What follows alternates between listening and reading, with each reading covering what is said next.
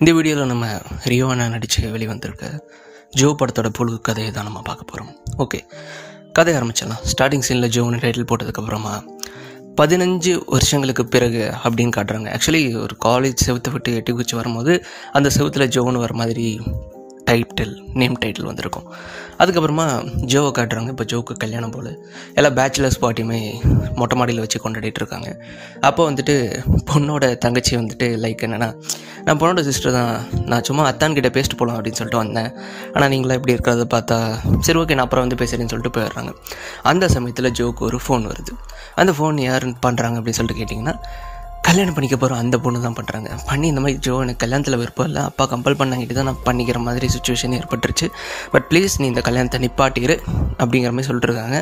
ஆனால் ஜோ காதில் ஃபோன் கிடையாது. அவரோட ஃபோன் எங்கே இருக்குன்னே தெரில ஆனால் அட்டனை இருக்குது. இவங்க பேசுகிறது மட்டும் கேட்டே இருக்குது. அதே சமயத்தில் பயங்கரமாக சரக்கரிச்சிட்டு இருக்க நான் ஜோ நம்ம ஜோவோட மைண்ட்குள்ளே அவரோட ஃப்ளாஷ்பேக் பாஸ்ட்லாம் விழுந்து அப்படி பளிச்சு பளிச்சு பளிச்சு பளிச்சுன்னு வந்துட்டு போகுது. காலேஜ் டேஸில் இப்போ மறுபடியும் காட்டுறாங்க. செவன்டீன் இயர்ஸ் லேட்டர்னு போட்டணும். செவன் இயர்ஸ் லேட்டர் சாரி அந்த செவத்தில் எட்டி குச்சி வந்ததுக்கப்புறம் ஏழு வருஷத்துக்கு அப்புறம். இப்போ ஏழு வருஷத்துக்கு முன்னாடி மறுபடியும் போகிறோம் காலேஜில் ஜோ இப்போது படிச்சுட்டு இருக்காப்புல அவங்க கிளாஸில் ஒரு பொண்ணு இருக்கா. அந்த பொண்ணு அழுகிறத பார்த்தா கூட ஜோக்கு அவ்வளோ பிடிச்சிருக்குமா. லிட்ரலி அவர் அழுகிறத பார்த்து தான் அந்த பொண்ணுக்கிட்ட விழுவார். அந்த பொண்ணு தான் அவங்க காலேஜ்லேயே வச்சு அவங்க கிளாஸ்லேயே வச்சு ஒரே ஒரு மலையாள பொண்ணு. ஸோ அந்த பொண்ணுக்கு ரூட்டு போடணும் அப்படின்னு சொல்லிட்டு பார்த்துட்டே இருக்காரு. பட் மற்ற லவ் ஸ்டோரிஸில் வர மாதிரி ரொம்ப ஈஸியாகலாம் போய் ப்ரொப்போஸ் பண்ணுற அளவுக்கு ஜோக்கு தைரியம் கிடையாது. பசங்கன்னா என்ன வேணால் பண்ணுவார். லைக் என்ன வேணால் சண்டைக்கு வேணால் போவார். ஆனால் அந்த ஒரு பொண்ணுக்கிட்ட மட்டும் எப்போவுமே கொஞ்சம் டிஸ்டன்ஸ் மெயின்டைன் பண்ணி பார்த்துட்டு இருக்கிறது. அப்படியே தான் பண்ணிகிட்ருக்காரு லவ்வே ப்ரப்போஸ் பண்ணல. பட் அந்த பொண்ணை பற்றி எல்லா விஷயத்தையும் விசாரிச்சிட்டாங்க. அந்த பொண்ணோட பேர் சுஜியாமா. ஸோ அந்த பொண்ணு தான் லவ் பண்ணிகிட்ருக்காரு கிளாஸில் தினமும் போகிறாரு பார்க்குறாரு வராரு போகிறாரு பார்க்குறாரு வராரு. அதே சமயம் எப்போ அவர் அந்த பொண்ணை பார்க்க ஆரம்பித்தாரோ அது அதோட மூணாவது நாள்லேருந்து அந்த பொண்ணும் ஜோவும் ஒரே மாதிரி ட்ரெஸ் போட ஆரம்பிச்சிட்டாங்க. லைக் ஒரே கலரில் ஒரே கலரில் போடுறாங்க ரெண்டாவது நாள் போகுது மூணாவது நாள் போகுது நாலாவது நாள் போகுது. எப்படா ஒரே கலரில் போடுற அப்படின்னு சொல்லிட்டு கேட்டால் லைக் என்னென்னா அந்த பொண்ணோட ஃப்ரெண்டு ஒருத்தங்க இருப்பாங்களாடா.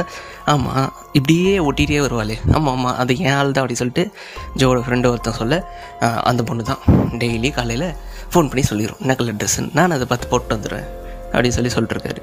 இப்போ திடீர்னு ஜோவாக போய் அந்த பொண்ணுக்கிட்ட பேசாமல் அந்த பொண்ணாக ஜோவை கூப்பிட்டு பேசுது. எதுக்கு பெஸ்ட்டுன்னு தெரில வெளியே வாசல்லே நின்றுட்டு லைக் கிளாஸ் ரூம்குள்ளே வராமல் வெளியே நின்றுட்டு ஜோ யார் இதில்? அப்படின்னு சொல்லிட்டு கூப்பிட்டு அந்த பொண்ணு பாட்டுக்கு பேசி விட்டுறது அப்புறம் எதுக்கு அந்த பொண்ணு வந்துட்டு உன்னை கூப்பிட்டு பேசுகிறான்னு சொல்லி ஃப்ரெண்ட்ஸ்லாம் கேட்க லவ்வர்ஸ்குள்ளே ஆயிரம் விஷயம் இருக்கும். அதெல்லாம் எதுக்கு உங்ககிட்ட சொல்லணும்? அதான்டா லவ்வர்ஸ்குள்ளே ஆயிரம் விஷயம் இருக்கும். நீங்கள் ரெண்டு பேரும் என்ன பேசிட்டு இருந்தீங்க? அப்படின்னு சொல்லிட்டு கேட்க லைக் இவர் என்ன சொல்கிறாரு அப்படின்னா கம்ப்யூட்டர் லேப் இருந்தோம்ல ஆமாம் கம்ப்யூட்டர் லேபு அங்கே பயோடேட்டா என்ட்ரி பண்ண சொன்னாங்களே? ஆமாம் பயோடேட்டா அதில் வந்துட்டு அந்த பொண்ணோட நம்பரை வாங்கிட்டியா? பார்த்துட்டியா அப்படின்னு சொல்லிட்டு கேட்க ஓ அதை தூக்கியிருக்கலாம்ல. அதை பண்ணல. அப்போ என்னடா பண்ண? ஒன்றும் இல்லை. சுஜி அப்படின்னு சொல்லிட்டு அவங்க அப்பா பேர் எழுதிருந்துச்சு. அந்த பேர் அழிச்சிட்டு சுஜி ஜோன் மாற்றிட்டேன் அப்படின்னு சொல்லியிருப்பார். அதுக்கு தான் அந்த பொண்ணு வந்துட்டு கூப்பிட்டு திட்டியிருக்கும் போல். அப்புறம் அந்த பொண்ணு திட்டுச்சா அப்படின்னு சொல்லிட்டு ஃப்ரெண்ட்ஸ்லாம் கேட்க டே அவள் திட்டினா என்னடா? அவளை நான் பார்க்குறேங்கிறது அவளுக்கு தெரியுதுல்ல அது போதும் அப்படிங்கிற மாதிரி சொல்லிட்டு அப்படியே சுற்றிட்டு இருக்கிறாங்க. அப்போது ஒரு நாள் பார்த்தா சுஜி வந்துட்டு பயங்கரமாக அழுதுட்டு வந்துட்டுருக்குறா என்ன ஆச்சு ஏதாச்சுன்னு கேட்கும் போது தான் தெரியுது விசாரிக்கும் போது அவங்க காலேஜில் இருக்கிற மலையாளத்து பசங்க அந்த பொண்ணை லவ் பண்ணுறேன்னு சொல்லி லவ் ப்ரப்போஸ் பண்ண சுஜிக்கு வந்துட்டு லவ் ப்ரப்போஸ் பண்ணாலே அழுகு வந்துடும் ஸோ இந்த மாதிரி நாலஞ்சு பேர்கிட்ட ப்ரப்போஸ் பண்ணி தான் வச்சுருக்குறாங்க ஆல்ரெடி யார் ப்ரப்போஸ் பண்ணாலுமே அந்த நாள் வந்துட்டு சுஜி அழுதுருவாள் ஸோ இப்படி அழுகிற பொண்ணுக்கிட்ட தான் நம்ம ஜோ வந்துட்டு இப்போ லவ் சொல்லணும். எப்படி சொல்ல போகிறாரு ஏது அப்படிங்கிறது போக போக தான் தெரியும். அப்புறம் ஒரு நாள் லேபுக்கு போகும்போது ஜோக்கு வந்துட்டு லேப் கோட் இல்லை. அதனால் யாரும் உள்ளே வரக்கூடாதுன்னு சொல்லிட்டாங்க. ஜோவோட ஃப்ரெண்ட்ஸ்க்கும் இல்லை. ஹாஸ்டல் பசங்க எல்லாத்துக்கும். ஸோ இவங்கெல்லாம் போயிட்டு ஒரு பிளான் பண்ணி எப்படியா சுஜி கிட்ட கோட் வாங்கிடலாம்னு சொல்லிட்டு போய் நிற்கிறான் போய் நிற்க சுஜியோட பக்கத்தில் இருக்கிற ஃப்ரெண்டு என்ன பண்ணுறா அவன் வந்துட்டு மற்றவங்களோட கோட்டெலாம் வாங்கி வாங்கி தரா சுஜியோட கோட்டை மட்டும் தர மாட்டேறா. கடைசியில் ஜோ என்ன பண்ணுறான் அவனும் கொஞ்சம் புத்திசாலி. அவன் அந்த கோட்டை வாங்கிக்காம எல்லா கோட்டையும் வாங்கி வாங்கி அவனோட ஃப்ரெண்ட்ஸுக்கு கொடுத்துட்றான் கடைசியில் சுஜிக்கிட்ட மட்டும் தான் கோட் இருக்குது. வேறு யார்கிட்டையுமே கோட் இல்லை. அந்த சமயத்தில் சுஜி வந்துட்டு கோட்டை கொடுத்துட்றா. ஸோ அந்த லேப் கோட்டை வாங்கிட்டு போட்டுட்டு அப்படியே நடந்து போகும்போதெல்லாம் சே சுஜிவே நம்ம கிடச்சிட்டாடா அப்படிங்கிற மாதிரி ஃபீல்டில் தான் போயிட்டுருக்காரு. அப்புறம் ஓணம் செலிப்ரேஷன் வருது. அதுக்கு ஓணம் சேரீ கட்டிட்டு ஃபஸ்ட் டைமாக சுஜிக்கு வந்துட்டு கை கொடுத்து பேசுகிறாரு ஓணம் விஷ் பண்ணுறாங்க அண்ட் ரெண்டு பேரும் ஜாலியாக போயிட்டுருக்காங்க. அப்போவே பார்த்தீங்கன்னா நம்ம யோ வந்துட்டு தூரத்துலேருந்து மலையாளத்துக்காரங்களாம் பார்த்துட்டே இருப்பானுங்க. ஒரு மாதிரி குரு குரு குருன்னு இவனுங்க ஏன் நம்மளை சாப்பிட்ற மாதிரி பார்க்குறானுங்க அப்படின்னு சொல்லி ஒரு டவுட் இருந்துகிட்டே இருக்கும். அடுத்த நாள் என்ன ஆகுது? மலையாளத்து பசங்க கூப்பிட்டு இங்கே பாரு அந்த பொண்ணை வந்துட்டு என் ஃப்ரெண்டு பார்க்குறான் இனிமேல் நீ பார்த்தீங்கன்னா கொண்டுருவான் அப்படின்னு சொல்லிட்டு மிரட்டி விட்ருவாங்க இன்றைக்கி தான் காலேஜோட last day last day means இந்த செமஸ்டர் முடிய செமஸ்டர் ஹாலிடேஸ்னு சொல்லுவாங்களே. சாரி செமஸ்டருக்கு ஸ்டடி ஹாலிடேஸ் ஸோ இந்த டைம்குள்ளே சொன்னால் தான் உண்டு. போய் சொல்லு சொல்லுன்னு சொல்லிட்டு எல்லோரும் போட்டு டார்ச்சர் பண்ணேன். ஸோ ஃப்ரெண்ட்ஸ் எல்லாம் கூட்டிகிட்டு போய் நம்ம சுஜிக்கு பின்னாடியே ஜோவை உட்கார வச்சிடுறாங்க. உட்கார வச்சுட்டு ஃபஸ்ட்டு இந்த சைடு இருக்கிற ஒரு ஃப்ரெண்டு கூப்பிட்றான் சுஜியை. அடுத்து அந்த சைடு இருக்கிற ஒரு ஃப்ரெண்டு கேட்குறான் கூப்பிட்றான். ஆனால் ஜோ மட்டும் கூப்பிடவே இல்லை. ஸோ நானே சொல்கிறேன் இருங்க இருங்கன்னு சொல்லிட்டு ஜோ வந்துட்டு அந்த பொண்ணை கூப்பிட்றாப்புல. திரும்பும் போது அந்த கண்ணை பார்த்து அப்படி மயங்கி அப்படியே அமைதியாக சிலையாட்டு உட்காந்துருக்காரு அதுக்கப்புறம் லவ் எப்படி சொல்கிறாரு அப்படின்னா சுஜி நான் லவ் பண்ணுறேன் அப்படி சொல்லிட்டு எட்டி குச்சி ஓடிடுறாரு கிளாஸ்லேருந்து அப்போ ரெஸ்ட் ரூமில் போயிட்டு டேய் முன்னாடியாச்சும் அந்த பொண்ணை தூரத்தில் இருந்தாச்சும் பார்த்து சந்தோஷப்பட்டுருப்பேன்டா. இனிமேல் நான் அந்த பொண்ணை எப்படா ஃபேஸ் பண்ணுவேன்? ஐயோ இல்லை உங்களால் தான்டா அப்படி சொல்லிட்டு திரியிட்டு இருக்கேன். டேய் என்னடா பெரிய விஷயம்? அந்த பொண்ணு இப்போ அழுகலைன்னா உனக்கு ஓகே ஆயிடுச்சுன்னு அர்த்தம். அழுதுச்சுன்னா ஓகே இல்லைன்னு அர்த்தம். அவ்வளோதானே போய் கிளாஸில் பார்ப்போம். அப்படின்னு சொல்லி கிளாஸில் போய் பார்த்தா அந்த பொண்ணு அழுதுட்டு இருக்குது. ஐயையோ அழுதுட்டு இருக்குதே அப்படின்னு சொல்லிட்டு கன்வின்ஸ் பண்ணலான்னு சொல்லிட்டு ரோட்டில் நடந்து போயிட்டு இருக்கும்போது ஏய் அந்த பொண்ணுக்கு ஓகேவான்னு கேட்டு சொல்லு கேட்டு சொல்லுன்னு சொல்லிட்டு ஒரு ஃப்ரெண்டுக்கிட்ட கேட்குறாங்க அந்த பொண்ணு இருந்துட்டு பின்னாடி திரும்பி ஆ ஓகே தான். அப்படின்னு சொல்லிட்டு போயிடுறாங்க. ஆனால் அந்த பொண்ணு எதுவுமே சொல்ல. ஸோ இவங்களாம் பயங்கரமாக கொண்டாட ஆரம்பிச்சிடுறாங்க. அந்த பொண்ணு பஸ் ஏறுறதுக்காக பஸ் ஸ்டாண்டில் நின்றுருக்குது. ஸோ கடைசியாக போய் பஸ் ஸ்டாண்டில் போய் நின்று பேசி ஃபோன் நம்பர் வாங்கிடு அப்படிங்கிற மாதிரி பிளான்லாம் போட்டு கொடுத்து அமுச்சு விட்றாங்க. ஹீரோ போயிட்டு அப்போ கூட பொண்ணுக்கிட்ட போய் நின்று பேசுறதுக்கு ரொம்ப தயங்கி தயங்கி ஷை ஆகி தான் போகிறாரு அப்போது அந்த ஃப்ரெண்டு ஒருத்தி வரான் அந்த பொண்ணோட ஃப்ரெண்டு அவன் வந்துட்டு அவன் ஏன்டா அங்கே போய் குறுகுறும் பார்த்துட்டு இருக்கிறான் அப்படின்னு சொல்லிட்டு கேட்க அட லவ்வர்ஸ்குள்ளே நிறைய விஷயங்கள் இருக்க தானே செய்யும் அப்படிங்கிற மாதிரி சொல்ல லவ்வர்ஸ்குள்ளேயா லவ்வர்ஸ்குள்ளே இருக்கட்டும் அவன் ஏன் அங்கே நிற்கிறான் நீ தானே அவளுக்கு எல்லாமே ஓகேன்னு சொன்னேன் ஐயோ அந்த பொண்ணு அழுதுட்டு இருந்தாலே இப்போ வந்துட்டு சரியாயிட்டா ஓகேன்னு சொன்னேன் ஐச்சிக்க இது தெரியாமல் நம்ம மனுஷன் எழுத போகிறானே அப்படின்னு சொல்லிட்டு இல்லை கூப்பிட பார்க்குறாங்க. அப்போது கூட்டத்தில் இருக்க ஒரு ஃப்ரெண்டு இருந்துட்டு டே இருடா பேச தானே போகிறான் பேசிட்டோம் என்ன ஆகுதுன்னு பார்க்கலாம் அப்படின்னு சொல்லிட்டு போயிட்டு அந்த பொண்ணுக்கிட்ட நிற்கிறாங்க போய்கிட்டு அந்த பொண்ணுக்கிட்ட நின்றுட்டு பேசுறதுக்கு ட்ரை பண்ணிட்டுருக்கிறான் ஜோ வந்துட்டு அப்போ ஜோவோட ஃப்ரெண்டு ஒருத்தன் ஃபோன் அடிக்கிறான். நான் கூட நினச்சேன். எல்லா மேட்ரையும் சொல்கிறதுக்கு தான் ஃபோன் அடிக்கிறான் நான். ஆனால் அவன் என்ன பண்ணுறான் டேய் மேட் ஃபார் ரிச்சர்ஸ் எல்லாம் நான் படத்தில் தான் பார்த்துருக்கேன். ஆனால் நேரில் எல்லாம் பார்த்ததில்ல. உங்கள் ரெண்டு பேர்த்தையும் பார்த்து பார்க்கும்போது அப்படி தான் தெரியுது.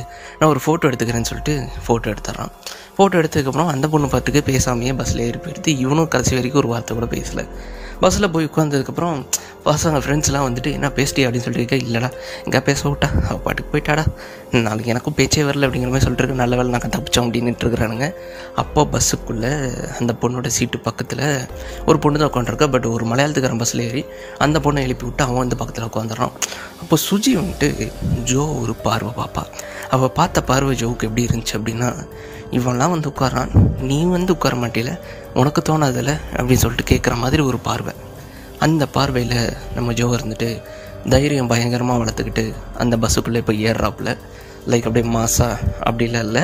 கொஞ்சம் அப்படியே நேச்சுரலாக இருக்கிற மாதிரி பஸ்ஸுக்குள்ளே ஏறி உள்ளே போய் அந்த பையனை எழுப்பி விடுறாரு. எழுப்பி விடும்போது ஏய் நான் எந்த எழுந்திருக்கணும்? அப்படின்னு சொல்லி மலையாளத்தில் ஏதோ பேசலை. இவன் ஃப்ரெண்ட்ஸில் வந்துட்டு ஏய் இன்னும் ரெண்டு வருஷம் இந்த காலேஜ் தான். தெரியும்ல?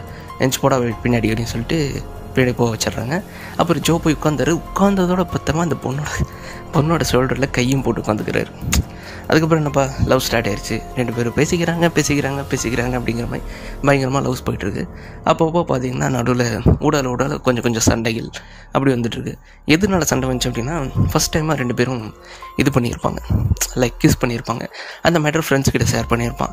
அவனுங்க என்ன பண்ணுவானுங்க அவனுங்களோட கேர்ள் ஃப்ரெண்ட்ஸ் கிட்ட சொல்லி பாரு அவங்களாம் பண்ணிட்டாங்க. நம்ம தான் இன்னும் பண்ணாமல் சுற்றிட்டு இருக்கிறோம். மொட்டை பசங்களா? அப்படிங்கிற மாதிரி சொல்லி அது காலேஜ் ஃபுல்லாக போக ஆரம்பிச்சது. அதனால ஒரு ஃபைட் வருது.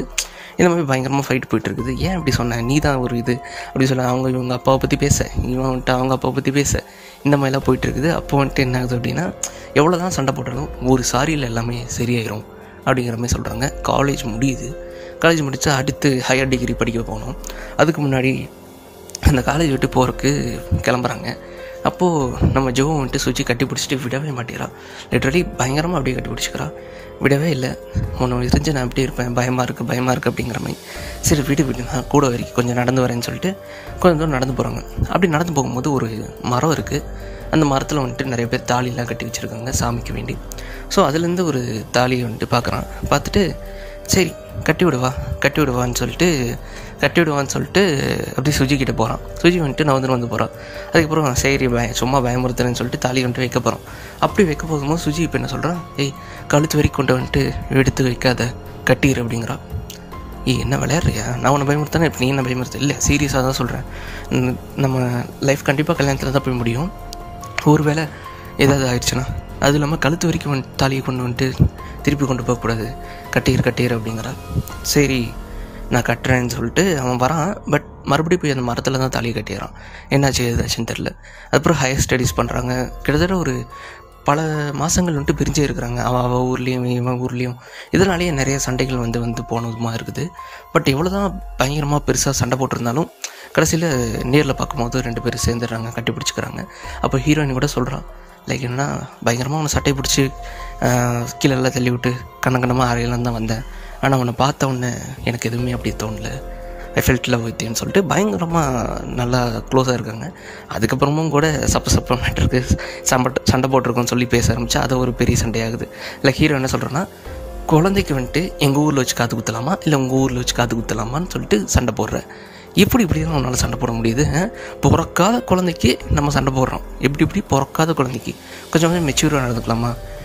நீ வந்துட்டு அப்படி இப்படி சொல்லிட்டு இருக்க பற்றி எடுத்து மறுபடியும் பயங்கரமாக ரெண்டு பேர் திட்டிக்கிறாங்க. அப்போ ஜோ வந்துட்டு சரிதான் போடின்னு சொல்லிட்டு கிளம்பிடுறான். கிளம்பும் போது என்ன ஆகுது அப்படின்னு சொல்லிட்டு கேட்டால் போடா போடான்னு சொல்லிட்டு இவ்வளோ சொல்லிடுறான். அப்புறம் அவன் கரெக்டாக பைக் எடுக்கும்போது இவ போயிட்டு போகாத நீ போனால் எனக்கு பயமாக இருக்கும். நீ போயிருவியும் நம்ம சேர மாட்டோமோன்னு பயமாக இருக்குது அப்படிங்கிற மாதிரி மறுபடியும் வந்து கட்டி பிடிச்சிக்கிறான். அப்போ ஜோ சொல்கிறான் நம்ம ரெண்டு பேத்துக்குள்ளே ஒரு ப்ரீத்திங் கேப் எடுத்துக்கலாம். கொஞ்சம் கொஞ்ச நாளைக்கு ரெண்டு பேர் பேசாமல் இருக்கலாம். ப்ரீத்திங் கேப் தானே? எவ்வளோ வேணால் எடுத்துக்கோன்னு சொல்லிட்டு அவள் போயிடறான் அதுக்கப்புறம் எப்போ நம்ம ஜோ கூப்பிட்டாலுமே பத்து நாள் கூட ஜோனால் பேசாமல் இருக்க முடியல கூப்பிட்டுருவாரு. ஆனால் எப்போ நம்ம ஜோ கூப்பிட்டாலுமே நீ தானே ப்ரீத்திங் கேப் கேட்ட? நீ தானே ப்ரீத்திங் கேப் கேட்ட? அப்படின்னு சொல்லிட்டு வெறுப்பேற்றிட்டே இருப்பாங்க. இப்படியே ஒரு ஆறு மாதம் போயிடுது. ஆறு மாதம் போனதுக்கப்புறம் முப்பத்தி ரெண்டு மிஸ் கால் வந்துட்டு நம்ம சுஜி விட்டுருக்காங்க. ஸோ என்னாச்சு ஏதாச்சுன்னு சொல்லிட்டு ஃபோன் பண்ணி கேட்டால் நாளைக்கு எங்கள் வீட்டில் வந்து நீ பேசுகிற எப்படி? நீ வந்துட்டு ஜோங்கிறதையும் பார்த்துட்டு உன் ஈகோ கொஞ்சம் கூட இல்லாமல் விட்டுட்டு என் லவ்வராக வந்து எங்கள் வீட்டில் பேசுகிற எங்கள் அப்பா அம்மா என்ன சொன்னாலும் அவங்கள வந்துட்டு ஏற்று பேசாத. நம்ம லவ்வை பற்றி மட்டும் பேசுன்னு சொல்லிட்டு வீட்டுக்கு கூப்பிட்றாங்க. அப்போது நம்ம சுஜியை வந்துட்டு வேறு ரூமில் நிற்க வச்சுட்டு இவங்களாம் பேசிகிட்டு இருக்காங்க. பேசிட்டு இருக்கும்போது திடீர்னு ஒருத்தன் கை வாங்கிடுறான் ஜோ வந்துட்டு அந்த கையை பிடிச்சிடுறாரு. கையை பிடிச்சோன்னே அப்புறம் நம்ம சுஜி சொன்னது ஞாபகம் வந்து அதனால கையை விட்டுறாரு. அப்போ இவனுங்களா சண்டை போட்டு ஜோ வந்துட்டு அவன் சுஜியோட அப்பா மேலே தள்ளி விட்டுறாங்க. ஆனால் சுஜி திடீர்னு ஐயோ சண்டையாயிருச்சு போலன்னு சொல்லிட்டு வெளியே வந்து பார்க்கும்போது சுஜி அப்பா மேலே ஜோ விழுந்து பா விழுந்துருக்கிறத பார்த்துட்டு அவனுங்களாம் ஃபேவர் பண்ணிடுறானுங்க. இவன் தான் கை வாங்கினான் முதல்ல. கை வந்துட்டு பிடிச்சான். அப்பாவை அப்பா அவன் வந்து அடிச்சிட்டான். ஏய் ஜோ நீ முதல்ல வெளியே போடா. வெளியே போடா. எங்கள் அப்பா மேலே நீ எப்படி கை வைக்கலாம்? முதல்ல வெளியே போ. எனக்கு நீ தேவையில்லைன்னு சொல்லிட்டு வெளியே அனுப்பிச்சிட்றாங்க ஸோ அதுக்கப்புறமா எல்லாமே ரொம்ப குடி குடி குடின்னு அப்படி ஆயிடுறாரு. அதுக்கப்புறமா நம்ம சுஜியும் ஃபோன் பண்ணுறதே கிடையாது. அப்புறம் இந்த மாதிரி லைஃப் அழிச்சிட்டு இருக்கிறத பார்த்துட்டு ஃப்ரெண்ட்ஸ்லாம் வந்துட்டு ஏய் வாடா போகலான்னு சொல்லிட்டு கூப்பிட்ருக்காங்க அப்போ நம்ம ஃப்ரெண்டோட ஃபோனுக்கு ஒரு ஃபோட்டோ வருது. என்னென்னா சுஜிக்கு இன்னொரு பையனுக்கும் இன்றைக்கி வந்துட்டு கல்யாணமாமா ஸோ அதை பற்றி பேசிகிட்டு இருக்க. இது எப்படி ஜோக்கிட்ட சொல்கிறதுன்னு சொல்லி. அவனே கண்டுபிடிச்சிட்றான். ஃபோனை வாங்கி பார்த்து ஸோ அந்த கல்யாணத்துக்கு நான் போகணும். அவனை பார்க்கணும் அப்படிங்கிற மாதிரி சொல்கிறான் குடிபோதையில் தான் சொல்கிறான் அப்படி மயங்கி விழுந்துடுறான். ஸோ அவன் எந்திரிச்சு கேட்டால் மூஞ்சி பார்த்து கேட்டால் என்ன சொல்லுவீங்க? என்னை கூட்டிகிட்டு போகலன்னு சொல்லிட்டு கேட்டால் என்ன சொல்லுவீங்க? அவன் கூட்டிகிட்டு போகலன்னு சொல்லிட்டு கேரளாக்கு கூட்டிகிட்டு போயிடறானுங்க. அந்த வீட்டுக்கு வெளியே சுஜியோட வீட்டுக்கு வெளியே. அப்போ நின்றுருக்குறாங்க விஜய் வந்துட்டு தெளிஞ்சு கேட்குறான் என்னையாண்டா இங்கே கூப்பிட்டு வந்தீங்க? நான் வந்துட்டு ஏதோ போதையில் உளறி இருப்பேன். அதுக்கு என்ன போய் கூப்பிட்டு வந்துடுவீங்களா? இப்படா சரி ஓகே பரவாயில்ல. அவள் சேரீயில் இருப்பா. கடைசியாக ஒரு டைம் சேரீயில் பார்த்துட்டு வந்துடுறேன்னு சொல்லிட்டு சேரில் பார்க்க போகிறாரு அப்படி போகும்போது அந்த வீட்டு பசங்க வந்துட்டு ரெண்டு பேர் அடிக்க வரானுங்க போட்டு பொழந்து எடுத்துடுறாரு. அப்புறமா திடீர்னு வீட்டை பார்த்துட்டு கூட்டமாக இருக்கிற பற்றி ஏதோ ஒரு விஷயத்த நோட் பண்ணுறாரு ஜோ. அங்கே போய் பார்த்தா அங்கே தான் பயங்கரமான ட்விஸ்ட்டு ஆக்சுவலாக சுஜி வந்துட்டு இறந்துட்டாங்க. சூசைட் பண்ணி. என்ன அப்படின்னா சுஜிக்கு ஜோ வந்துட்டு தாலி கட்டியிருப்பார். கல்யாணம் நடக்க போகுதுங்கிற விஷயம் சொல்லும் போது ஃப்ரெண்ட்ஸ் கிட்ட ஜோ சொல்லியிருப்பார். அப்போ நான் கட்டின தாலி அப்படின்னு சொல்லிட்டு. ஆக்சுவலாக அந்த மரத்துலேருந்து அந்த தாலியை வச்சுட்டு தாலினே தெரியாத மாதிரி ஒரு கருப்பு கயிறு ஒன்று இருக்கும். அந்த கயிறு எடுத்து தாலியாக கட்டி விட்டுருப்பார். அந்த விஷயத்த சுஜி லெட்டராகவே எழுதி வச்சுட்டு இப்போ சூசைட் பண்ணியிருக்காங்க. என்ன அப்படின்னா அப்போ எனக்கு வந்துட்டு ஜோனை ரொம்ப பிடிக்கும். எனக்கு உங்களை முதல்ல ரொம்ப பிடிக்கும். நீங்கள் தான் என் ஹீரோ உங்களை மாதிரியே தான் நான் ஜோவை பார்த்தேன். உங்ககிட்ட இருக்கிற எல்லா விஷயங்களும் ஜோ கிட்ட இருக்குது. ஆனால் அவனை நான் இப்போ கல்யாணம் பண்ணிக்கிட்டேன்னா உங்களை அடித்த விஷயந்தான் உங்களுக்கு கண் முன்னாடி வந்து வந்து போகும். அதனால் என்னால் அவனை உங்கள் வாழ்க்கையில் என் வாழ்க்கையில் அவன் இருக்கக்கூடாதுன்னு நீங்கள் நினச்சிங்க. அதேமாதிரி அவன் இனிமேல் இருக்க மாட்டான். ஆனால் அவன் இல்லைன்னா எனக்கு வாழ்க்கையே இல்லைப்பான்னு சொல்லிட்டு தற்கொலை பண்ணிக்கிட்டான். ஸோ இதோட அவங்க அப்பாவும் வந்து மன்னிப்பு கேட்குறாரு ஜோ கிட்ட. சேர்ந்து என் பொண்ணோட வாழ்க்கையை அழிச்சிட்டாங்கன்னு. அதோட இன்டர்வல் இன்டர்வலுக்கு அப்புறமா இப்போ நம்ம அந்த ஃபோன் பண்ணிச்சு இல்லைங்களா? ஏழு வருஷத்துக்கு அப்புறம். எப்படியோ கன்வின்ஸ் பண்ணி ஆக்சுவலி ஜோ வந்துட்டு சூசைட் ஐட்டம்லாம் ட்ரை பண்ணியிருப்பார் இது வந்துட்டு அந்த பொண்ணோட முட்டாள்தனம் அப்படி இப்படின்னு என்னென்னமோ பேசி கடைசியில் ஜோவோட அம்மா என்ன பண்ணுறாங்க லைக் ஜோ கூப்பிட்டு இப்பாரு லவ் அட் ஃபஸ்ட் ஃபஸ்ட் சைட்டுன்னு நீங்கள் சொல்லுவீங்களே அதை பற்றிலாம் எனக்கு பெருசாக ஒன்றும் ஐடியா கிடையாது. ஆனால் என்னை பொறுத்த வரைக்கும் லவ் அட் ஃபஸ்ட் சைட்னு என்ன தெரியுமா? குழந்தை பிறந்தப்போ நான் உன்னை பார்த்தேன்ல அதான்டா லவ் அட் ஃபஸ்ட் சைட் எங்களுக்கு நீ தான்டா லவ் அந்த ஒரு பொண்ணோட காதலுக்காக இங்கே நான் உங்கள் நாங்கள் எல்லாரும் உன் மேலே காதல் வச்சுருக்கோம் அது எல்லாத்தையும் நீ அழிக்கலாம் முடிவு பண்ணிட்டீல? எப்படா நீ இப்படி பண்ணுவேன் அப்படின்னு சொல்லிட்டு சூசைட் ஐட்டம் ட்ரை பண்ணதுக்காக பயங்கரமாக திட்டியிருப்பாங்க. அப்புறம் ஜோ வந்துட்டு காலையிலாம் வந்து சாரி கேட்டு அவங்க அம்மா வந்துட்டு ஒரு நாள் கேட்குறாங்க எனக்காக நீ ஒரு கல்யாணம் பண்ணிப்பியான்ட்டு. ஸோ வேறு வழி இல்லை பண்ணிக்கிறேன்றான் ஏன்னா இதுக்கு மேலே ஜோ வந்துட்டு அவன் லைஃப்பில் என்ன பண்ணாலுமே அவனை வீட்டில் வந்துட்டு நல்ல பேர் வாங்க முடியாது. வீட்டில் அவங்களுக்கு பிடிச்ச மாதிரி நடந்துக்கணும் அப்படின்னா அவங்களுக்காக வாழணும் அப்படின்னா அவங்க சொல்கிற இந்த கல்யாணத்தை பண்ணி ஆகணும்னு சொல்லிட்டு பண்ணிக்கிற முடிவு தரோம். அன்றைக்கி நைட்டாக இந்த பேச்சுலர்ஸ் பார்ட்டி கல்யாணத்துக்கு முன்னாள் நைட்டு இந்த பொண்ணு வந்து ஃபோன் பண்ணுறா பட் ஃபோன் பண்ணும்போதும் கூட யாருமே இவனோட ஃப்ரெண்டு தான் அட்டன் பண்ணுறான் அட்டன் பண்ணிவிட்டு லைக் என்னென்னா கல்யாணத்தை நிப்பாட்டு அப்படிங்கிறலாம் சொல்லிகிட்டு இருக்கும்போது நைட்டு முடியாதுமா என்னால் இப்போ நடக்கவே முடியல. நான் காலையில் நிப்பாட்டிடுறேன்னு சொல்லிட்டு அவன் அதை வந்துட்டு ஜோக்கிட்ட சொல்லாமே மறந்துடுறான். லைக் குடிபோதையில் இருந்தாங்கிட்டி இப்போது கல்யாணத்துக்கு அந்த பொண்ணு வந்து உட்கார்றா. கழுத்தில் தாலி கட்டும் போது ஒரு பார்வை ஒன்று பாப்பா ஜோவை. என்னடா அந்த பொண்ணு இப்படி பார்க்குறா அப்படின்னு சொல்லிட்டு. ஏன்னா அவன் கல்யாணத்தை நிப்பாட்டேறேன்னு சொல்லி வாக்கு கொடுத்துருந்தேன் இப்போ என்னடா இப்படி பண்ணுறான் சீப்பாக பிஹேவ் பண்ணுறான் அப்படிங்கிற மாதிரி ஒரு பார்வை அது. ஸோ ஜோ வந்துட்டு அவன் ஃப்ரெண்டை பிடிச்சி பயங்கரமாக போட்டு திட்டுறான். ஆக்சுவல் கல்யாணம் முடிஞ்சதுக்கப்புறம் தான் ஃப்ரெண்ட் இந்த மேட்ரே சொல்லுவான். ஸோ ரெண்டு ஃப்ரெண்ட்ஸ் இருக்காங்க. ஒருத்தன் வந்துட்டு என்ன சொல்கிறான் அப்படின்னா இங்கே பாரு லைஃப்பை பற்றி நீ யோசிக்கணும். அந்த பொண்ணு வந்துட்டு வேணாம்னு சொல்லிருந்துச்சு. சரி முன்னாடியே சொல்லியிருந்தா அந்த கல்யாணத்தை நிப்பாட்டியிருப்பா.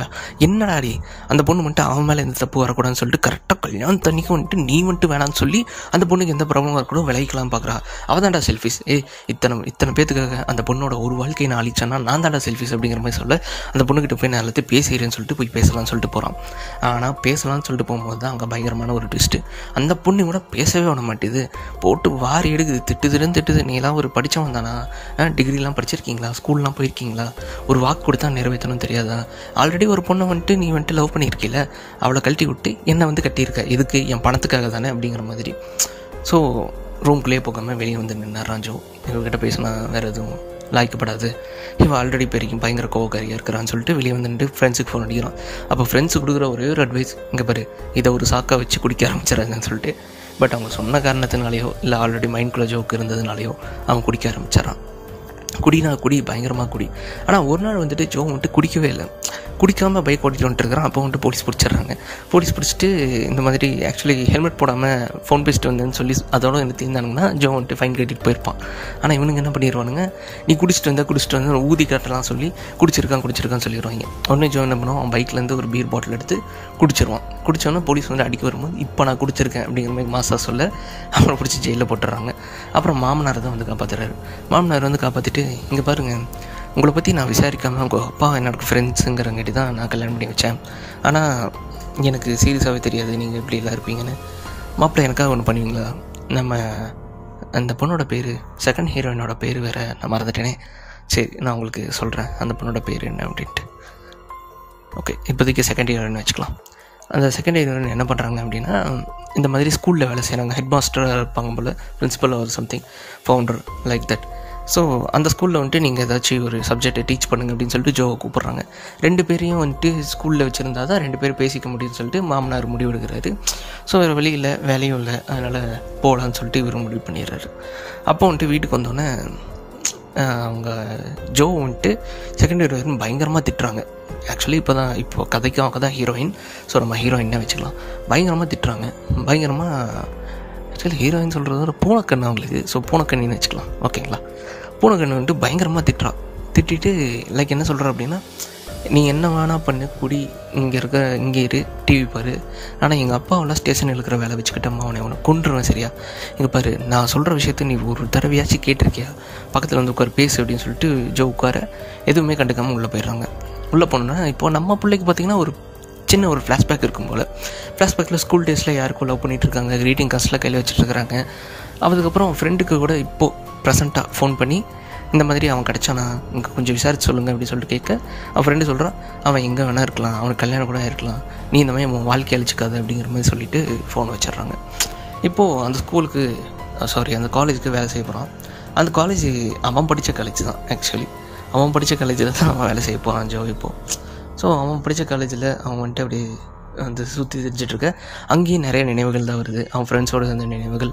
அதுக்கப்புறம் ஜோவோட இருந்த சாரி சுஜியோட இருந்த நினைவுகள் இதெல்லாம் வந்துட்டு போகுது. அங்கே பார்த்தீங்கன்னா நம்ம நெப்போலியன் தான் செக்யூரிட்டியாக வேலை செஞ்சுட்ருப்பார். அவர் ஒரு பாட்டியை வந்துட்டு அடிக்கடி வம்பிழுத்துட்டே இருப்பார். லைக் குப்பையெல்லாம் போட்டுட்டு க்ளீன் பண்ணி க்ளீன் பண்ண அப்படிங்கிற மாதிரி. ஜோ ஒரு நாள் வந்துட்டு அவரை வந்துட்டு தனியாக கூட்டிகிட்டு வந்துட்டு எதுக்கு அந்த பாட்டியை வந்துட்டு இப்படி வம்பிழுத்துட்டே இருக்கீங்க? அப்படின்னு சொல்லிட்டு அப்படி வம்பிழுத்தா வச்சு என் கூட பேசிட மாட்டாளேங்கிற ஒரு ஏக்கம் தான் கல்யாணத்துக்கு முன்னாடி நிறையா பேசினான் ஆனால் அப்புறம் கல்யாணத்துக்கு அப்புறம் ஒரு சம்பவம் நடந்துச்சு. என் குழந்தைய நானே கொண்டுட்டேன் ஆக்சுவலி நெப்போலியன் வந்துட்டு லைக் குடிச்சிட்டு குடிச்சிட்டு வேலை முடிச்சோன்னே பயங்கரமாக குடிப்பார் போகிற காலையில். நைட் நைட் ஃபுல்லாக நைட் டியூட்டி பார்த்துட்டு வந்துட்டு. ஸோ அப்படி ஒரு நாள் வந்துட்டு பையனை வந்துட்டு ஸ்கூலுக்கு எடுத்துகிட்டு போய் விடுறதுக்கு ஒய்ஃப்னால முடியல. ஸோ நெப்போலியன் இந்த எடுத்துகிட்டு போனோம். அப்போ குடிபோதையில் வண்டி எங்கேயோ விட்டார். அதில் அவங்க பையன் வந்துட்டு இறந்தே போயிட்டானாமா? ஏழு நாள் கழிச்சு நெப்போலியன் எந்திரிக்கிறான். ஆனால் எந்திரிச்சதுக்கப்புறமா அவங்க ஒய்ஃப் வந்துட்டு அவர்கிட்ட பேசவே இல்லை. அப்போ இருந்து இப்போ வரைக்கும் பேசுகிறதே கிடையாதும்மா பல வருஷங்கள் கடந்து போனதுக்கப்புறமும் தான் பக்கம் இருக்கிற நியாயத்தை சொல்கிறதுக்கும் எந்த ஒரு வாய்ப்பும் கொடுத்ததில்ல. பேசுனா தானே எல்லாமே புரியும். ஆனால் எதுவுமே பேச விடாமல் அவங்க பேசுகிறதே இல்லை. ஸோ இந்த மாதிரி அவன் வேலை செய்கிற இடத்துல வேலை செஞ்சுட்டு அவளை வெறுப்பேற்றிட்டு இருந்தா என்னைக்காச்சும் ஒரு நாள் திட்டுறக்காச்சு என்னை பார்த்து பேசிட மாட்டாளுங்கிற ஒரு இயக்கம்தான். அப்படிங்கிற மாதிரி சொல்ல அது ரொம்ப டச்சிங்காக இருக்கும். ஸோ ஜோ வந்துட்டு ஒரு கட்டத்தில் கட்டி பிடிச்சிட்டு கண்டிப்பாக அவங்க பேசுவாங்க கவலைப்படாதீங்க அப்படிங்கிற மாதிரி சொல்லிட்டுருப்பாங்க அப்போது இவங்களை நம்ம ஹீரோயினை பற்றி பயங்கரமாக பூனக்கண்ணியை பற்றி விசாரிப்பார் ஜோ ஸ்கூலுக்குள்ளே ஸ்கூல் ஸ்கூல்னே வந்து காலேஜ்குள்ளே அப்போது இவங்க ரொம்ப ஸ்ட்ரிக்டாமா கேர்ள்ஸ் பசங்களை பேசிக்கூடாதுமாங்களாமா இதுமாதிரி ஏகப்பட்ட ரூல்ஸு யார் ஸ்டூடெண்ட்டு யார் ஸ்டாஃப்னே தெரியாத அளவுக்கு ரூல்ஸ் போட்டு வச்சுருக்குறாங்களாம். ஸோ கல்ச்சுரல்ஸ் பற்றி டிஸ்கஷன் ஒன்று போயிட்டு இருக்கும்போது கல்ச்சுரல்ஸில் என்ன சொல்கிறாங்க அப்படின்னா லைக் என்னென்னா பசங்க பொண்ணுங்க பேசிக்கூடாது. பசங்க பொண்ணுங்க கல்ச்சுரல்ஸ் ஒன்றா டான்ஸ் ஆடக்கூடாது அப்படிங்கிற மாதிரி சொல்ல கல்ச்சுரல்ஸில் ஏன் அவங்க ரெண்டு பேரும் ஒன்றா ஆடக்கூடாது? ஏன்னா அது என்னோடய ரூல்ஸ் அப்படின்னா அது என்னது ஏதோ தப்பாயிரும் அப்படிங்கிற மாதிரி சொல்ல. என்ன தப்பாயிரும்? என்ன நடந்துட போகுது அப்படின்னு சொல்லி கேட்க அது அப்படி இப்படியே பேசிகிட்டு இருக்க சண்டை லைஸாக பலர்ற மாதிரி இருக்கும். அதுக்கப்புறம் ஜியோ வந்துட்டு வெளியே வந்துடுறாரு. வெளியே வந்ததுக்கப்புறமா என்ன ஆகுதுன்னு சொல்லிட்டு கேட்டிங்கன்னா அந்த பூனைக்கண்ணியோட தங்கச்சி இருப்பாங்க. அவள் வந்துட்டு அவகிட்ட ஜோ கொஞ்சம் விசாரிச்சுட்டு போங்க. பூனைக்கண்ணி எப்படி? அவளுக்கு வந்துட்டு ஏதோ ஒரு பாஸ்ட் ரிலேஷன்ஷிப் இருக்கும்னு நினைக்கிறேன். அதனால தான் அவள் இப்படி நடந்துக்கிறா. இல்லை இல்லைண்ணா. இல்லை இல்லை அதான் அந்த மாதிரிலாம் எதுவுமே கிடையாது. அவள் வந்துட்டு அப்படி இருந்தால் தான் எங்களுக்கு தெரிஞ்சிருக்குமே. சரி இல்லை அவள் யாரையும் பயங்கரமாக மிஸ் பண்ணுறா அதனால தான் என்கிட்ட அவள் பெருசாக பேச மாட்டேறா.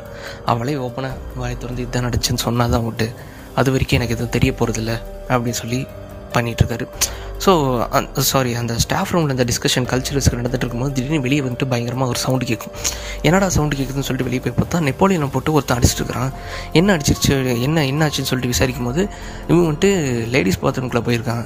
எப்போ பார்த்தாலும் இந்த ஆளுக்கு இதே வேலை தான். அந்த பாட்டியை பிடிச்சி பொம்பளுக்கு லேடிஸ் ஸ்டைலுக்குள்ளே போகிறது சரியான பொம்பளை பொறிக்க அப்படிங்கிற மாதிரி திட்ட ஜோ வந்துட்டு போய் கட்டி பிடிச்சிக்கிட்டு என்ன அடைஞ்சுன்னு தெரியாமல் பேசாதீங்க அப்படின்னு சொல்லிட்டு சொல்ல. அப்போ அந்த பாட்டி வந்து சொல்கிறாங்க எனக்கு ஃபீவராக இருக்குன்னு கொஞ்சம் படுத்துக்கிட்டேன்.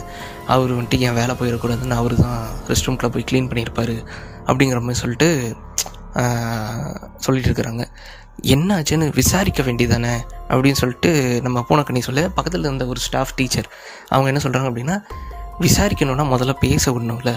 நம்மளுக்கு அவங்கள பிடிக்காதுன்னு ஒரே ப- காரணத்துக்காக அவங்கள ரொம்ப கேவலமாக ட்ரீட் பண்ணால் அவங்க எப்படி தான் பேசுவாங்க? அப்படின்னு சொல்லிட்டு சொல்கிறாங்க இந்த விஷயம் நம்ம போனக்கண்ணிக்கு பயங்கரமாக உள்ள ஹர்ட் ஆகிருக்கும் ஏன்னா அதே மாதிரி தானே இப்போ அவங்க ஜோ பண்ணிகிட்டு இருக்கிறாங்க. ஸோ போனக்கண்ணி என்ன பண்ணுறா ஃபஸ்ட்டு அவங்க தங்கச்சிக்கிட்ட கேட்குறா ஜோ பற்றி ஜோ வந்துட்டு அந்த ஃபோன் எடுக்கல. அவர் ஃப்ரெண்டு தான் எடுத்திருக்காரு. அந்த விஷயத்த சொல்கிறதுக்கு தான் இத்தனை நாள் வரைக்கும் அவர் முயற்சி பண்ணிட்டுருக்கிறாரு ஜோ ரொம்ப நல்லவர். நீ வந்துட்டு அவர் தப்பாக புரிஞ்சுக்கிட்டு இருக்க அப்படிங்கிற மாதிரி சொல்லிட்டு இருக்காங்க. ஸோ ஜோக் வந்துட்டு பேசுறதுக்கு ஒரு வாய்ப்பு தரலாம் அப்படிங்கிற மாதிரி நினச்சிட்டு இருக்கிறாங்க. அதே சமயத்தில் என்ன ஆகுது? கல்ச்சுரல்ஸ் நடக்குது. எல்லா டான்ஸ்லாம் போட்டிருக்காங்க அப்போ பார்த்தீங்கன்னா மறுபடியும் ஒரு பஞ்சாயத்து. என்னன்னா நம்ம பூனக்கனியோட தங்கச்சி வந்துட்டு யாரையும் லவ் பண்ணிட்டு இருந்திருப்போம் போல் அப்புறம் பிரேக் பண்ணிட்டா பிரேக்கப் பண்ணிட்டா. பிரேக்கப் பண்ணதுக்கப்புறமா அந்த புள்ள நம்பி அமைச்ச சில நியூட் ஃபோட்டோஸ் இதெல்லாம் வந்துட்டு அவன் லீக் பண்ணிடுவேன் இதில் போட்டுருவேன் இதில் போட்டுருவேன்னு பஞ்சாயத்து இழுத்துட்டு இருக்கிறான். ஸோ இதுக்கு தான் சண்டை போயிட்டு இருக்குது. அது ஜோவில் வந்து இன்டர்ஃபியர் ஆகிறாரு. இன்டர்ஃபியர் ஆகும்போது போனக்கு நீ சொல்கிறேன் இது எங்கள் பிரச்சனை நாங்கள் பார்த்துக்குறோம் அப்படின்ட்டு. அப்போ ஜோ சொல்கிறாரு இது உன் தங்கச்சி பிரச்சனை நான் பார்த்துக்கிறேன் இது உன் பிரச்சனை இல்லை தனியானு சொல்லிட்டு பயங்கரமாக ஜோ வந்துட்டு தங்கச்சி கேள்வி கேட்குறாரு லைக் என்னென்னா நீ வந்துட்டு அவனை நம்பி தானே ஃபோட்டோ அமிச்ச? அவன் நம்புற அளவுக்கு அவன் என்ன பண்ணிட்டான்? அவன் அப்படி என்ன உனக்கு அவன் மேலே நம்பிக்கை அப்படிங்கிற மேலே கேட்டிருக்காங்க. அவன் இப்படிலாம் பண்ணுவான்னு நம்ம வந்துட்டு கனவுல நினச்சிருக்க மாட்டோம். இப்போ வந்துட்டு ஒருத்தன் லவ்வில் இருக்கும்போது அவன் வந்துட்டு உன்னோட நியூ ஃபோட்டோலாம் கேட்குறான்னு வச்சுக்கோங்க அந்த இடத்துல அது வந்துட்டு லவ் இல்லை லஸ்ட்டு தாங்கிறத நீ வந்துட்டு புரிஞ்சுக்கணும். ஏன் அதை நீ புரிஞ்சுக்க மாட்டே அப்படின்னு சொல்லிட்டு பேசிகிட்டு இருக்க? அந்த பையன் இருந்துட்டு இவங்களாம் வந்துட்டு ஏன் மேலே தப்பு இருக்கிற மாதிரி சொல்கிறாங்க நான் என்ன பேச தப்பு பண்ணிட்டேன்? அவள் தான் நான் ஃபோட்டோ அமிச்சா அப்படிங்கிற மாதிரி பேசிட்டு இருக்கேன். அப்போ ஜோ வந்துட்டு அப்பீரர் டேய் போடா பேசாமல் முதல்ல பையனா பொண்ணுங்களை எப்படி பார்க்கணும் அப்படின்ட்டு ஒரு அம்மா சொல்லி தரணும் அவங்க அம்மா பக்கத்தில் தான் இருப்பாங்க. உங்களை மாதிரி தான் அவன் எல்லா பொண்ணுங்களையும் பார்க்கணும்னு சொல்லிட்டு நீங்கள் வந்துட்டு சொல்லி வளர்த்துருக்கணும். அதனால தான் அவன் வளர்த்து பண்ணுறான்னு சொல்லிட்டு அப்புறம் அவங்க அம்மா பயங்கரமாக கண்டிச்சு அவன் ஃபோனில் இருக்கிற ஃபோட்டோஸ்லாம் அழிச்சு அவனை வந்துட்டு வெளியே கூட்டிகிட்டு போயிடுறாங்க. அப்புறம் அந்த பொண்ணு வந்துட்டு அழுதுட்டு இருக்கா பொண்ணு கனியோட தங்கச்சி. ஜோ வந்துட்டு இங்கே பாரு நீ அழுகக்கூடாது. எப்போவுமே ஒரு விஷயம் நடக்குது தப்பாக இருக்குது அப்படின்னா முதல்ல நீ அழுகக்கூடாது. எல்லாமே சரியாயிரும். எல்லாமே நம்மளுக்கு நல்லது தான் நடக்கும். சரியா? தப்பு செஞ்ச அவனே வந்துட்டு தைரியமாக சுற்றிட்டு இருக்கும்போது தப்பே பண்ணாது நீ வந்துட்டு எதுக்கு இப்படி இருக்கணும்? முதல்ல முடிவுகளை தெளிவாடு இந்த வயசு அப்படி ஆனால் எல்லாமே சரியாயிரும். நம்ம அப்பா அம்மா லைஃப்பில் நம்ம நம்ம கூட பழகுற எத்தனையோ பொண்ணுங்க இல்லை நம்ம லைஃப் அவங்க லைஃப்பை வாழ்ந்து முடிக்கிற எவ்வளோ பொண்ணுங்க இந்த மாதிரி ஆளுகள் எல்லாம் கடந்து தான் வந்திருப்பாங்க. ஸோ அவங்களாம் ஸ்ட்ராங்காக இல்லையா? ஸோ நீயும் ஸ்ட்ராங்காரி அப்படின்னு சொல்லிட்டு சொல்லிவிட்டார். அதுக்கப்புறமா ஜோ கிட்ட பேசலாம்னு சொல்லிட்டு மற்ற ஹிஸ்ட்ரியும் சொல்கிறான் நம்ம போன கனி அவளோட லவ் மேட்டரை பற்றிலாம் ஸோ இதெல்லாம் தெரிஞ்சுக்கிட்டு ஃப்ரெண்ட்ஸ் கிட்ட போய் ஜோ என்ன சொல்கிறான் அப்படின்னா அது எப்படி அவளோட லைஃப்பை நான் வந்துட்டு ரிலோன் பண்ண முடியும்? அவளை அந்த பையன் கூட சேர்த்துக்கிறது தான் நியாயம். அதனால் நான் சேர்த்து வச்சிட்றேன் அப்படிங்கிற மாதிரி சொல்லிட்டு அந்த பொண்ணை பூனைக்கணியை கூட்டிகிட்டு அவங்க அப்பா அம்மா வீட்டுக்கு போகிறாங்க லைக் போ மாமியார் மாமனார் வீட்டுக்கு போகிறாங்க போயிட்டு அங்கெல்லாம் பேசிவிட்டு இப்போ பூனைக்கணியை கூட்டிகிட்டு நம்ம ஜோவோட ஃப்ரெண்டு ஒருத்தன் காரில் கூட்டிகிட்டு வந்துட்டுருக்கான் ஜோ எங்கே கிரவுண்டுக்கு வர சொல்லியிருக்கான்னு சொல்லிட்டு. அப்படி போயிட்டு இருக்கும்போது பூனைக்கணி கேட்குறா ஜோ வந்துட்டு ஒருத்தர் பொண்ணை லவ் பண்ணிகிட்டு இருந்தான்ல அது என்னாச்சுன்னு சொல்லிட்டு கேட்க அந்த பொண்ணு வந்துட்டு வீட்டில் ஒத்துக்கல அப்படிங்கிற காரணத்தினால அவள் சூசைட் பண்ணிக்கிட்டா. அவள் பண்ண முட்டாள்தனமான முடிவு அதுதான். இது வரைக்கும் எடுத்ததுலேயே முட்டாள்தனமான முடிவு. அந்த மாதிரி ஒருத்தங்க பண்ணக்கூடாது. அதே மாதிரி தான் எனக்கு ஓமலையும் கோவம் வந்துச்சு. ஏன்னா என் ஃப்ரெண்டுக்கு கடைசியாக வாழ்க்கையில் நல்ல விஷயம் நடக்குது நடக்குது. ஆனால் அவனை நீ போட்டு இந்த மாதிரி ட்ரீட் பண்ணுற விஷயம் எனக்கு பிடிக்கல. ஆனால் அதுக்கப்புறமா எனக்கு உன் மேலே ஒரு நல்ல அபிப்பிராயம் வந்துச்சு. ஏன்னா நீ சுஜி மாதிரி சூசைட் அட்டம் பண்ணிக்கலையே. நீ வந்துட்டு மற்றவங்கள தானே போட்டு ஹர்ட் பண்ணுற அது உன்னோட வெளிப்பாடு ஆஃப் ரியாக்ஷன் தானே. ஒன்ஸ் நீ அவனை புரிஞ்சுக்கிட்டீன்னா நீ மாறிடுவ எனக்கு தெரியும். இப்போ கூட ஜோ வந்துட்டு உனக்கு அந்த பையனை காட்டுறதுக்காக தான் உன்னை அங்கே கூட்டிகிட்டு வந்துட்டுருக்குறான் அப்படிங்கிற மாதிரி சொல்ல அதுக்கப்புறம் அங்கே போய் பார்க்குறா ஜோ நின்றுருக்குறான். ஜோ நின்றுருக்கும் ஜோ கிட்ட வந்துட்டு பேச வரா? ஜோ வந்துட்டு முதல்ல அந்த பையனை போய் பாரு. அவங்ககிட்ட பேசு. அதுக்கப்புறமா நீ என்ன வந்து பேசு. என்கிட்ட வந்து பேசுவியாமா அப்படின்னு சொல்லிட்டு சொல்ல. இப்போ தான் ஒரு ட்விஸ்ட்டு அந்த பொண்ணு வந்துட்டு அந்த பையனை பார்க்க நடந்து போயிட்டு இருக்கால நடந்து போயிட்டு இருக்கும்போது ஆக்சுவலி நம்ம பூனாக்கண்ணி வந்துட்டு அந்த பையனை லவ் பண்ணியிருப்பா. ஆனால் அந்த பையன் லவ்வை வந்துட்டு வேறு விதமாக யூஸ் பண்ணியிருப்பான். லைக் க்ரீட்டிங் கார்ட்ஸ்லாம் வாங்கி போட்டு நீ என்ன லவ் பண்ணுறல அப்படி என்னை தொட வேணும் என்னை கிஸ் பண்ண வேணும்னு சொல்லிட்டு லைக் நெருங்கில வர அவளை வந்துட்டு ஏதோ பண்ண பார்க்க. அப்போ வந்துட்டு திடீர்னு ரூமை திறந்துட்டு உள்ள ஒரு பையன் வந்துட்டு அவளை நம்ம பூனைக்கண்ணியை காப்பாற்றிருப்பான் அந்த பையன் வந்துட்டு மூஞ்சி ஃபுல்லாக ஜோக்கர் காஸ்டியூம் போட்டிருப்பான். பெயிண்ட்லாம் அடிச்சிருப்பான் ஒயிட் கலரில் ஆனால் அந்த பையன் யாரும் தெரிஞ்சிருக்காது. ஸோ அந்த பையன் யார் அப்படின்னு சொல்லிட்டு சட்டையை பிடிச்சி ரெண்டு நாலு அப்போ அப்படி கேட்பா அப்படி கேட்கும்போது அந்த பையன் சொல்லுவான் சாரி லாஸ்ட் மினிட்ல தொண்டை கட்டிடுச்சுங்க. ஒரு நிமிஷம் இருங்க. அந்த பையன் யாருன்னு சொல்லிட்டு கேட்கும்போது தெரிய வருது அது வேறு யாரும் இல்லை. அன்றைக்கி அங்கே பெயிண்ட் பண்ணிட்டு வந்தது ஜோ தான் சொல்லிட்டு. ஸோ ஓடி வந்து ஜோ கட்டி பிடிச்சிக்கிறா. ஏன் முன்னாடியே சொல்லு அப்படின்னு சொல்லிட்டு கேட்க சொல்லியிருந்தா மட்டும் நீ நம்பியிருப்பியா? ம் சொல்லு. நீ நம்பியிருப்பியா அப்படின்னு சொல்லிட்டு கேட்க அப்படின்னு அப்படி சொல்லி அதோட அந்த ஜோ ஸ்டோரி அழகாக முடியுது. கூடவே ஒரு பெரிய வேர்டிங்ஸையும் போடுறாங்க. என்னென்னா எந்த ஒரு பிரச்சனைக்குமே எந்த ஒரு டிசப்பாயின்ட்மெண்ட் மன உடைச்சல் இது எதுக்குமே நம்ம லைஃப்பை முடிச்சுக்கிறது ஒரு சொல்யூஷன் ஆகாது. அதோட ஜோ படம் முடியுது. இவ்வளோ அழகாக இருக்கிற ஒரு படம். தேட்டர் போய் பார்த்த எக்ஸ்பீரியன்ஸ் நல்லாயிருக்கும் சாங்ஸ் எல்லாமே சூப்பராக இருக்குது அண்ட் மோஸ்ட்லி நம்ம யுவன் குரலில் ஒரு பாட்டு வருது. அதுவும் பக்காவாக இருக்குது. படமே பக்காவாக இருக்குதுன்னு சொல்லலாம். ஸோ மறக்காமல் நீங்களும் பக்காவாக போய் பார்த்துருங்க. ஒருவேளை இந்த கதை பிடிச்சிருந்துச்சி. நான் சொன்ன விதம் அப்படின்னா கமெண்ட் செக்ஷன் லீவ் பண்ணுங்கள் இன்றைக்கி வேறு நிறைய படம் ரிலீஸ் ஆகுது. அன்னபூர்ணி பாக்கிங் அப்புறம் நாடு அனிமல் எல்லாத்தையும் பிரேக் டவுன் பண்ணுவோம். எல்லாத்தையும் போடுவோம். ஐ மீன் ஸ்டோரிஸை போடுவோம். அண்ட் பா சொல்ல மாட்டேன் இது உங்கள் தமிழ் வாய்ஸ் பாக்ஸ் மற்றும் நைட் மெலோடி நீங்கள் கேட்டிருக்கீங்க. நான் உங்களோட யூவைஸ் உங்களுக்கு பாட்டும் பாடுவேன் கதையும் சொல்லுவேன். அண்ட் வேறு என்ன வேணும்? கேளுங்க. செஞ்சிடலாம்.